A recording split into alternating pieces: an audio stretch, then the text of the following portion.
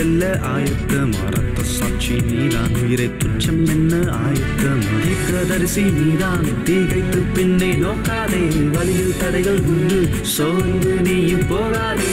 யூதராஜ சிங்கம் முந்தன் உன்னை நிற்பாரு வெற்றிகளும் கூட உன்னை தேடி வரும் பாரு. யூதராஜ சிங்கம் முந்தன் உன்னை நிற்பாரு வெற்றிகளும் கூட உன்னை தேடி வரும்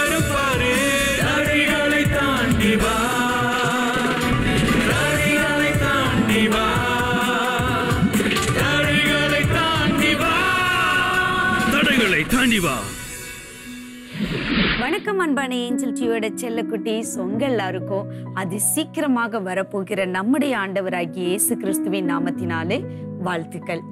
மீண்டுமாக இந்த தடைகளை தாண்டுவா நிகழ்ச்சிக்கு. உங்க எல்லாரையும் மிகுந்த அன்போடு கூட ஆன்டி வரவேற்கிறேன். ஸோ ஒவ்வொரு வாரமும் உங்களை சந்திக்கிறதுல உண்மையிலே எனக்கு ரொம்ப சந்தோஷமா இருக்கு.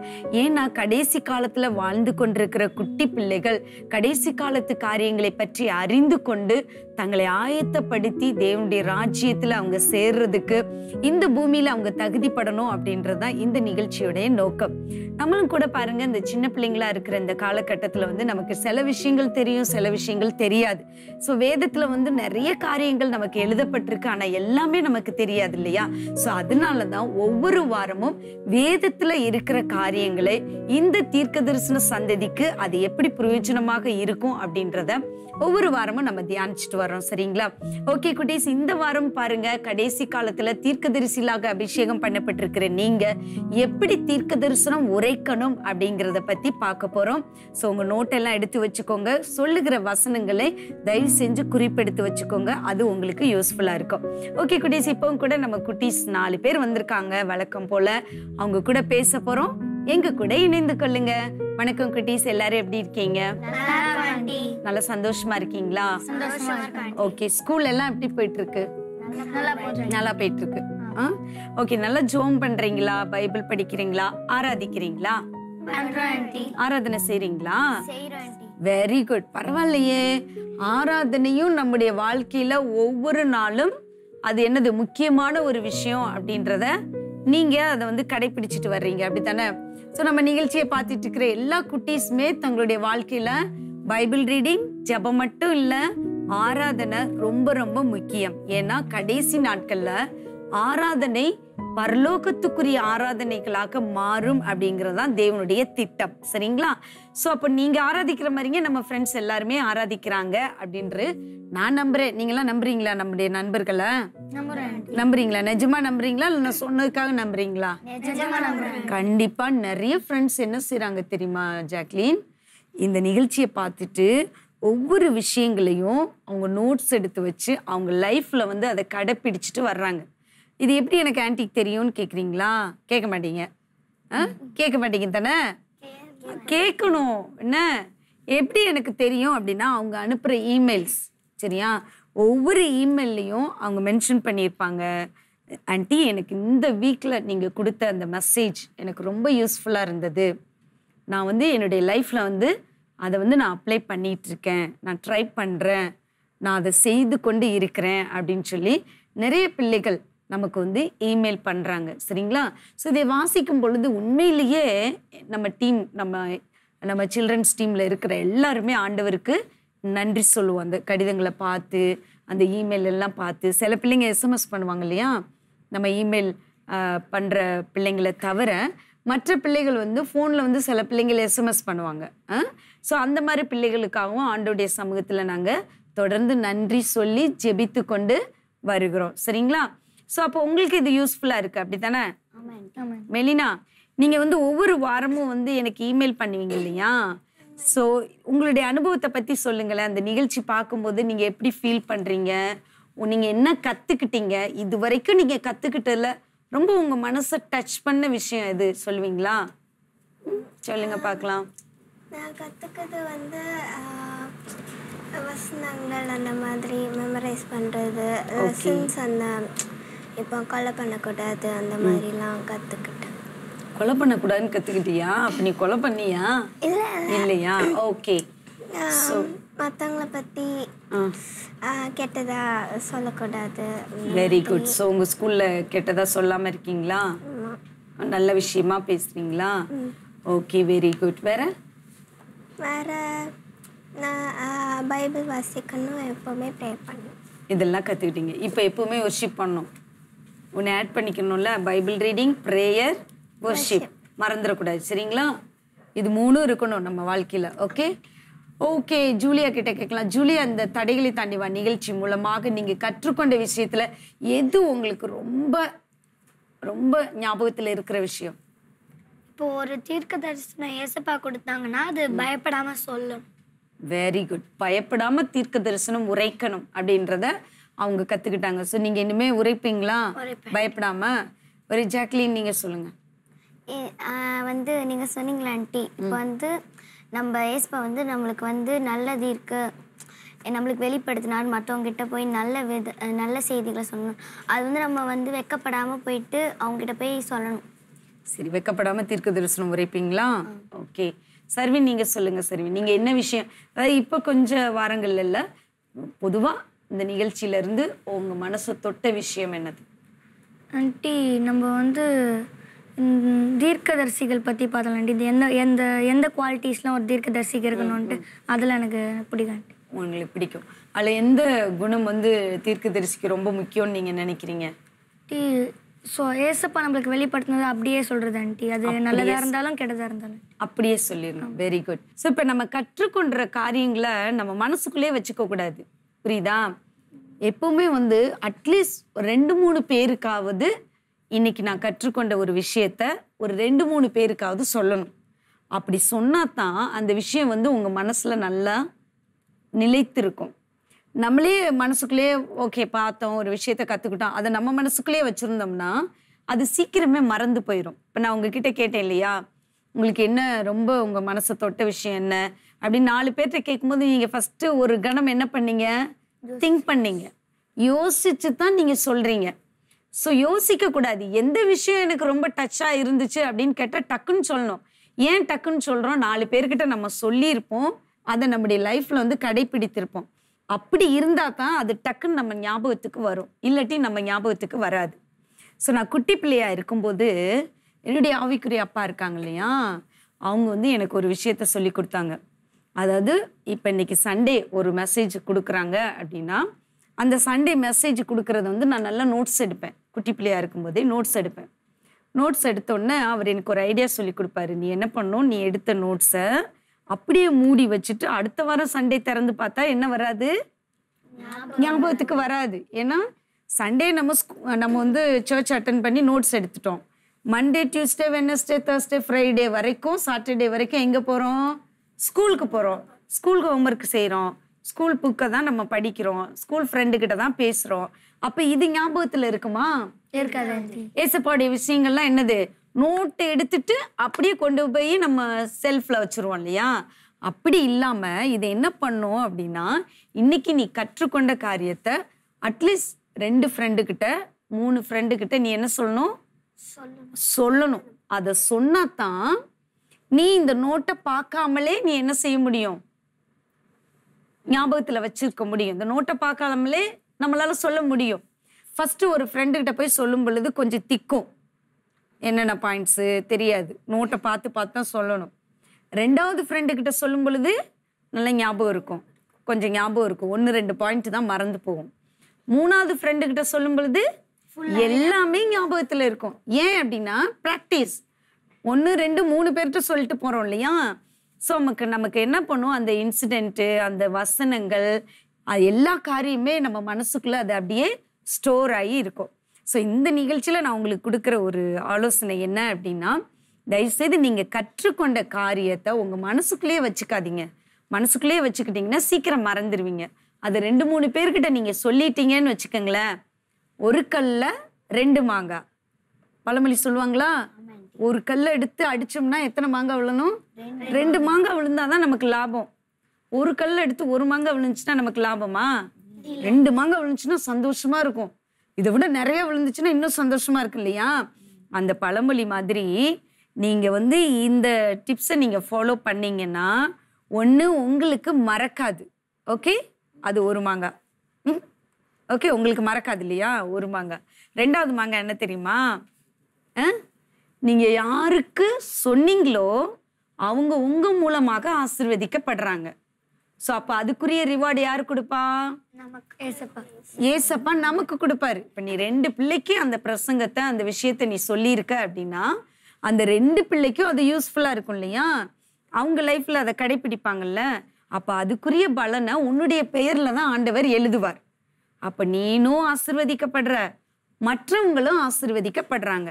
ஸோ இந்த விஷயத்த தயவு செய்து நீங்க என்ன செய்யக்கூடாது? மறக்க கூடாது சரிங்களா? நிசி இனிமே சொல்லிடுவீங்களா? உங்க ஸ்கூல்ல இருக்கிற ஃப்ரெண்டுக்கெல்லாம் நல்ல க்ளோஸ் ஃப்ரெண்டு கிட்ட சொல்லுங்க. யாருக்கிட்டயா போய் சொல்லி திட்டு வாங்கி அடி வாங்கிட்டு வந்துடாதீங்க ஓகே இப்பெல்லாம் வந்து ஸ்கூல்ல சொன்னா கூட என்னது? பிரச்சனை ஆயிடுது இல்லையா? உன்னுடைய நல்லா நீ நேசிக்கிற உன்னுடைய ஃப்ரெண்டு யாரோ அவங்களுக்கு நீ கற்றுக் கொடுக்கணும். சரியா? சண்டே கிளாஸில் இருக்கிற ஃப்ரெண்டாக இருக்கலாம் சர்ச்சில் இருக்கிற ஃப்ரெண்டாக இருக்கலாம் வீட்டு பக்கத்தில் இருக்கிற ஃப்ரெண்டாக இருக்கலாம் ஸ்கூல் ஃப்ரெண்டாக இருக்கலாம் டியூஷன் ஃப்ரெண்டாக இருக்கலாம். யாரோ அவங்க நல்ல உங்க கூட ரொம்ப க்ளோஸாக பழகுறவங்களுக்கு நீ கற்றுக் கொடுக்கணும். ஓகே ஓகே இன்னைக்கு நம்ம வந்து என்ன பார்க்க போகிறோம் அப்படின்னா தீர்க்க தரிசிகளாக இருக்கிற நம்ம எப்படி தீர்க்க தரிசனம் உரைக்கணும் அப்படின்னு நம்ம பார்க்க போகிறோம்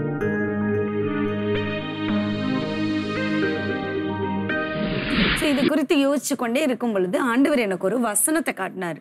அந்த வசனத்தை வாசித்து பார்க்கும் பொழுது எனக்கே எனக்கு பயமாயிருச்சு. எனக்கே இல்லை. நான் ஒன்றும் கிடையாது. எனக்கு பயமாயிருச்சு. ஸோ பயமானோன்னு நான் யோசிச்சேன் ஐயோ நம்ம பிள்ளைகளுக்கும் இதை என்ன செய்யணும்?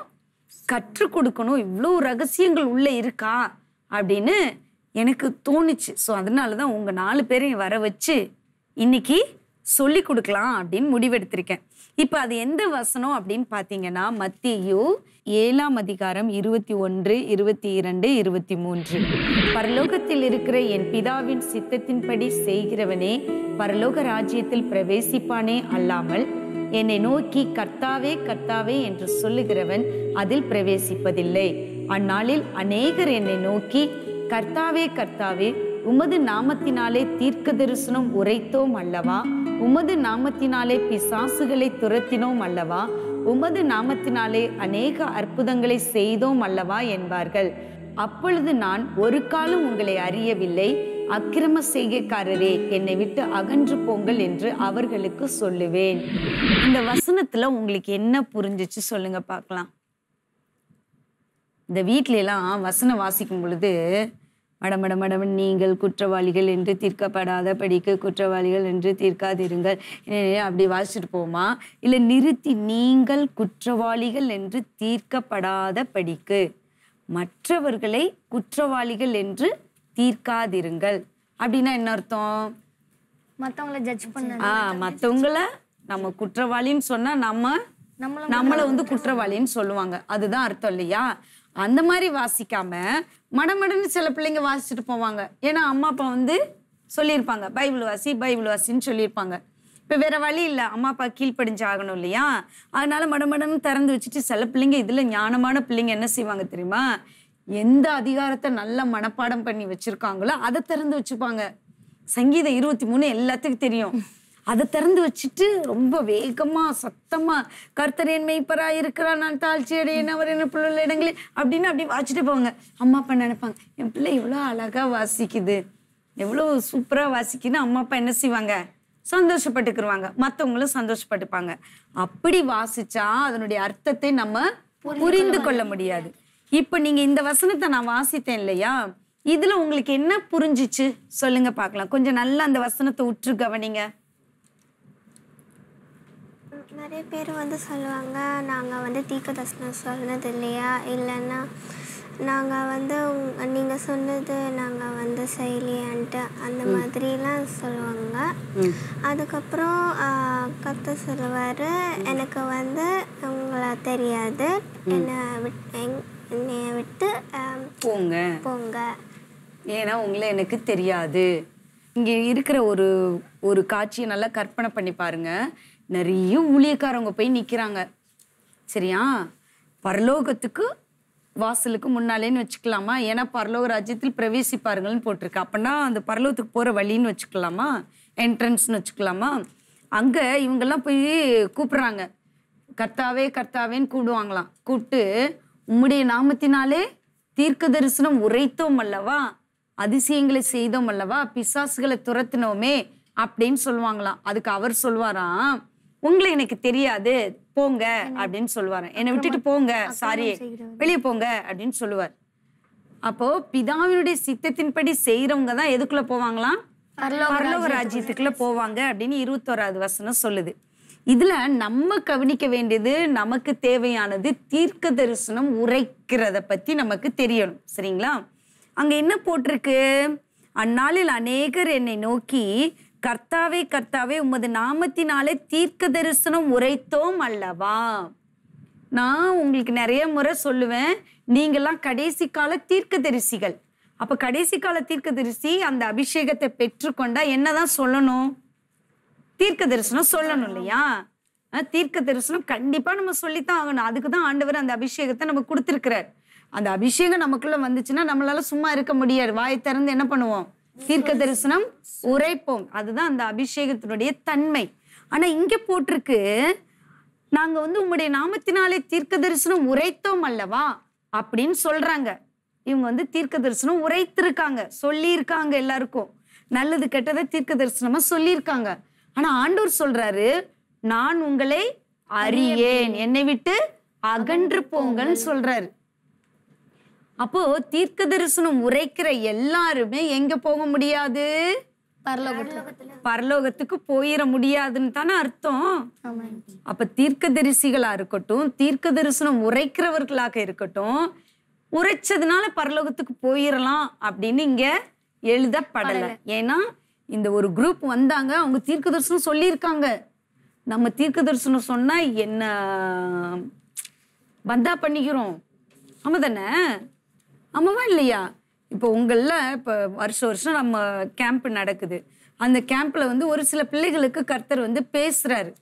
அப்போ அவங்கள வந்து அவங்க வந்து நம்மகிட்ட வந்து சொல்லுவாங்க ஆண்டி இந்த மாதிரி ஆண்டவர் என்கிட்ட பேசுறாரு. என்கிட்ட ஆண்டவர் சொல்றாரு நீ இதை சொல்லுன்னு சொல்றாரு. அப்படின்னு நம்ம கிட்ட வந்து சொல்லுவாங்க. ஸோ நாங்கள் என்ன பண்ணுவோம்? ஓகே வா மேலே வா அப்படின்னு அவங்க கையில் மைக்கு கொடுத்து சரி கர்த்தர் சொல்றத நீ தீர்க்க தரிசனமாக உரை அப்படின்னு சொல்லிடுவோம் ஸோ இவங்க வந்து என்ன செய்வாங்க? மைக்கை பிடிச்சி தீர்க்க தரிசனம் உரைப்பாங்க. உரைச்ச உடனே கீழே இருக்கிற எல்லாரும் என்ன செய்வாங்க? அதை கேட்டுக்கிட்டே இருப்பாங்க. கேட்டு இப்போ கூட்டம்லாம் முடிஞ்சிருமா?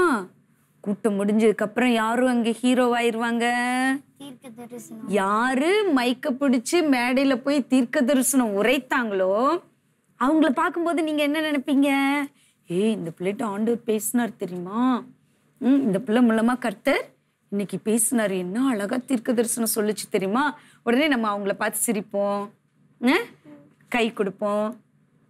கர்த்தர் உன் மூலமா என்கிட்ட பேசினாரு. சூப்பரா நீங்க தீர்க்க தரிசனம் சொன்னீங்க. அப்படிலாம் சொல்லுவோமா சொல்ல மாட்டோமா? என்கரேஜ் பண்ணுவோமா இல்லையா? இப்படி என்கரேஜ் பண்ணும் பொழுது அவங்களுக்கு என்ன வரும் இப்ப? பெருமை. ஆட்டோமேட்டிக்கா ஒரு சந்தோஷம். ஃபர்ஸ்ட் சந்தோஷம். அதுக்கப்புறம் அந்த சந்தோஷம் என்னவா மாறிடும் பெருமையா பெருமையா மாறிடும் ஐ இத்தனை நாள் நம்மளை யாருமே வந்து பார்க்க மாட்டாங்களே. இத்தனை நாள் நமக்கு யாருமே வந்து கை கொடுக்கலையே. இத்தனை நாள் நம்மளை வந்து பாராட்டலையே இன்னைக்கு மட்டும் இந்த பொண்ணு வந்து பாராட்டுதே. இந்த பையன் வந்து நம்மளை ரொம்ப அப்ரிஷியேட் பண்ணுறாங்களே ஸோ அப்போ தீர்க்க தரிசனம் உரைத்தா எல்லாருக்கும் நம்மளை பிடிக்கும். தீர்க்க தரிசனம் உரைத்தால் எல்லாருக்கும் முன்னாலேயும் நம்ம தான் ஹீரோ நம்ம பேரு எல்லாருக்குமே தெரியும். நம்மளை எல்லாருக்குமே தெரியும். அப்படின்ற எண்ணம் பிள்ளைங்களுக்குள்ளேயும் சரி பெரியவங்களுக்குள்ளேயும் சரி வர ஆரம்பிச்சிரும். வந்துரும். பெரியவங்களுக்குள்ள ரொம்ப வந்துரும். குட்டி பிள்ளைகளுக்கு வருமா வராதா? வரும். ஸோ இப்படி எண்ணம் வரும் பொழுது நமக்குள்ள என்ன வந்துருது? பெருமை. பெருமை. மேட்டிமை. மேட்டிமை பெருமை வந்துருச்சுன்னா திருப்பி கர்த்தர் பேசுவாரா? கர்த்தர் பேசுவாரா நம்ம கிட்ட ஏன்னா பெருமை உள்ளவர்களுக்கு தேவன்? எதிர்த்து நிற்கிறார். தாழ்மை உள்ளவர்களுக்கும் கிருபை அளிக்கிறார். அப்ப நீ தாழ்மையா இருந்தேன்னா ஆண்டவர் உன் மூலமா பேசுவார். ஆனா நீ இப்ப என்னவாயிட்ட? பெருமை. பெருமையாயிட்ட. அதுக்கு முன்னால தாழ்மையா இருந்த. கர்த்தர் உன் கூட பேசினார். அப்படிதானே? தாழ்மையா அழுது ஜோம் பண்ணும்போது ஆண்டவர் உன்கிட்ட பேசினாரு. அதை நீ மைக்க பிடிச்சு சொல்லிட்ட. இப்ப எல்லார்ட்டையும் போய் சொல்லிட்டேன். திடீர்னு இப்ப ஜாக்லின் கிட்ட நீ அழுது அழுது ஜோம் பண்ணிட்டு இருக்க. திடீர்னு ஆண்டவர் ஜாக்லின் கிட்ட வந்து பேசுறாரு. ஜாக்லின் நீ போய் சுந்தரி ஆண்டிட்ட சொல்லு. சுந்தரி ஆண்டிய இப்படி நான் ஆண்டவர் ஆசீர்வதிக்க போறேன். நீ போய் ஆண்டிட்ட சொல்லு அப்படின்னு உன்ட்டு சொல்லிட்டாரு. நீ வந்து என்கிட்ட சொல்லுவ. உன்னை எனக்கு ரொம்ப சந்தோஷமா இருக்கும். பரவாயில்ல கர்த்தர் என்ன ஆசிர்வதிக்க போறாரு. Okay very good Jacqueline. உன் மூலமா நான் ஆசிர்வதிக்கப்பட்டுட்டேன். ரொம்ப நன்றி. நீ சூப்பரா தீர்க்க தரிசனம் உரைக்கிற. பாரு கர்த்தர் என்கிட்ட பேசாம உன்கிட்ட பேசியிருக்கிறார். ஆண்டவர் உன்னை ரொம்ப நேசிக்கிறார். நீ பெரிய ஆளா வருவ. அப்படின்னு ஆன்ட்டி பாராட்டுவனா இல்லையா? அப்போ உனக்கு எப்படி இருக்கும்? ஃபர்ஸ்ட் எப்படி இருக்கும்? சந்தோஷமா இருக்கும். இதை வந்து ஜ- ஜூலியா பார்த்துக்கிட்டே இருக்கா. இப்போ ஜூலியா வர்றா. பக்கத்தில் வந்து ஏய் கை குடுறி. பாருடி என்கிட்ட கூட ஆண்டவர் பேசலடி. உன்கிட்ட தான் அதுவும் ஆண்டியை பற்றி பேசியிருக்காரு. நீ எவ்வளோ பெரிய ஆள் தெரியுமா? நான்லாம் ஒன்றுமே இல்லை. அப்படின்னு ஜூலியா வந்து இப்போ உன்கிட்ட சொல்றா. உனக்கு இப்போ எப்படி இருக்கும்? ஹே அதெல்லாம் ஒன்றும் இல்லடி அப்படின்னு நீ சொல்லிடுவ கொஞ்ச நேரம் கழிச்சு சர்வின் வருவான். சர்வின் வந்து கை கொடுப்பான். ஜாக்லின் நீ சூப்பரா தீர்க்க தரிசனம் சொன்ன. பாரு கர்த்தர் எங்கிட்ட எல்லாம் வெளிப்படுத்தல உன்கிட்ட வெளிப்படுத்திட்டாரு. அப்படின்னு அவன் வேற வந்து உன்னை புகழ்ந்துருவானா? இப்போ ஆட்டோமேட்டிக்கா உன் மனசுக்குள்ள என்ன வர ஆரம்பிக்கும்? பெருமை. சந்தோஷம் எதுவாக மாறிவிடும்? பெருமையா. பெருமையாக மாறிடும். பெருமை வந்துச்சுன்னா அதுக்கப்புறம் ஆண்டவர் நம்ம கிட்ட பேச மாட்டாரு. ஏன் பேச மாட்டாரு தெரியுமா? பெருமையா இருந்ததுனாலதான் சாத்தான்ட்ட பேசல ஆண்டவர். சாத்தானை துரத்தியே விட்டுட்டாரு. இங்க இரு எழுதி இருக்கிறதா அங்க நடந்துச்சு. அங்க போய் லூசிஃபர் போய் நின்னுட்டு இருந்தான். ஆண்டவர் சொன்னாரு உன்னை எனக்கு நான் உன்னை அறியேன். என்னை விட்டு அகன்று போ. அப்படின்னு சொல்லிட்டார் லூசிஃபர்ட்ட உன்னை எனக்கு தெரியாது. நீ போ நீ மேட்டிமை ஆயிட்ட நீ பெருமையில நிறைஞ்சிட்ட. உன்னை எனக்கு தெரியாது நீ போ அப்படின்னு அவனை என்ன செஞ்சுட்டாரு? இங்க என்ன வசனம் போட்டிருக்கு? என்னை விட்டு அகன்று போங்கள். அப்படின்னா என்ன அர்த்தம்? என்னை விட்டுட்டு போயிரு தூரமா போயிருன்னு அர்த்தம். கோபமா திட்டுறது. அப்படிதான் லூசிஃபரை ஆண்டவர் திட்டினார். அனுப்பிச்சிட்டார். ஏன் திட்டினாரு? ஏன் வெறுத்தாரு அவனை அப்படின்னா அவனுக்குள்ள மேட்டிமை பெருமை இருந்துச்சு. அதே மாதிரி தான் நமக்குள்ள பெருமை மேட்டிமைகள் வரும் பொழுது கர்த்தர் நம்மளை என்னை விட்டு அகன்று போங்கள்னு சொல்லுவார். ஆனால் நம்ம என்ன செய்யணும்? ரொம்ப தாழ்மையாக நடந்து கொள்ளணும்.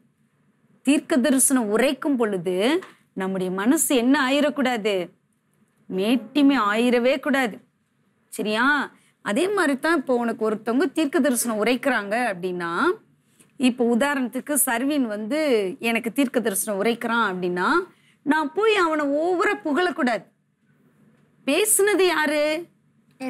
கர்த்தர். கர்த்தர் அவனை எடுத்து பயன்படுத்தினார். ஸோ அவனுடைய வாயில கர்த்தர் வார்த்தையை வைத்து அவன் வந்து என்கிட்ட சொல்லிட்டான். பேசுனது கர்த்தர். அப்ப நான் கர்த்தருக்கு நன்றி சொல்லணுமே ஆண்டவரே. என் கூட நீங்க பேசுனதுக்காக உங்களுக்கு நன்றின்னு சொன்னா அந்த மகிமை யாருக்கு போகும்? ஏசப்பா. ஏசப்பாக்கு போகும். ஒண்ணு. ரெண்டாவது சர்வினுக்கு தேங்க்யூ சர்வின். அதோட முடிச்சிட்டேன்னா சர்வின் மனசுல வந்து பெருமை வருமா? வராது. ஏன்னா அவன் வந்து ரொம்ப நான் வந்து புகழல அவனை. புகழ்ந்தாதான் அவனுக்குள்ள என்ன சந்தோஷம் வரும் அப்புறம் பெருமையா வந்துடும் அவன் அவன் வேலையை செஞ்சுட்டு ஓ இட்ஸ் ஓகே ஆண்டி பரவாயில்ல ஆண்டி ஆண்டவர் பேசினாரு. நான் சொல்லிட்டேன் ஆண்டி அப்படின்ட்டு அவன் போயிடுவான் நான் போட்டு சும்மா சர்வீன் நீ எப்படி திரும்ப நீ அப்படி இப்படி ஆச்சு பூச்சுன்னு நான் அவனை புகழும் பொழுதுதான் அவனுக்குள்ள என்ன வந்துருது? மேட்டிமை வர்றதுக்கு நான் வந்து அவனுக்கு தீங்கு செய்றேன். ஸோ நம்ம என்ன பண்ணோம்? நமக்கு ஒருத்தவங்க தீர்க்க தரிசனம் உரைத்தால் அவங்களுக்கு தேங்க்யூ சொல்லிட்டு அதோட என்ன பண்ணிடணும் விட்டுறணும். அவங்க மூலமா பேசின கர்த்தரை தான் நம்ம நோக்கி பார்க்கணும்.